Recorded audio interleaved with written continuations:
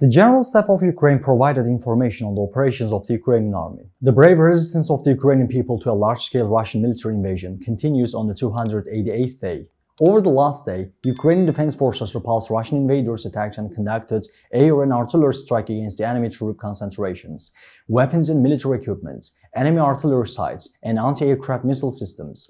According to the Ukraine's General Staff operational update on the Russian invasion as of 6 on December 8, 2022, the Ukrainian Air Force conducted 17 airstrikes on enemy troop, weapon and military equipment concentrations, and two airstrikes on enemy anti-aircraft missile system positions during the previous day. Simultaneously, our forces shot down one Shahed 136 assault drone and one Orlan 10 reconnaissance UAV. Ukrainian missile and artillery soldiers attacked six command posts, five enemy troop concentrations, one artillery position, and two enemy ammunition depots in the last 24 hours. To reach all actual news fast and reliable worldwide, please don't forget to follow and like us.